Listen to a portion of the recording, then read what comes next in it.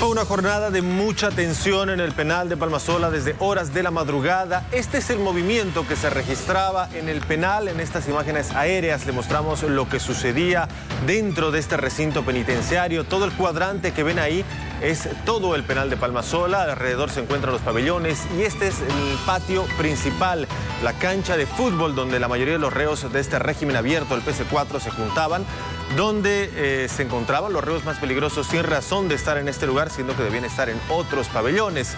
Ahí fueron puestos la mayoría de los reos por la policía luego del operativo. En este lugar se concentraron, fueron puestos boca abajo. Y este es momentos después de haberse realizado ya la requisa y haberse separado a los reos más peligrosos.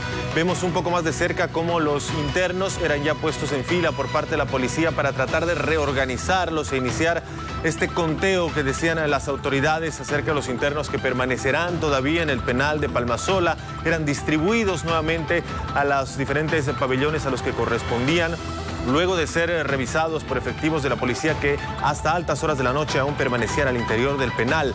Este era el lugar donde se suscitó toda la acción durante las horas de la madrugada, la mañana y la tarde, y las imágenes que muestran eh, eh, lo que sucedía en el momento de la requisa, internos tirados en el suelo, el control tomado por parte de la policía.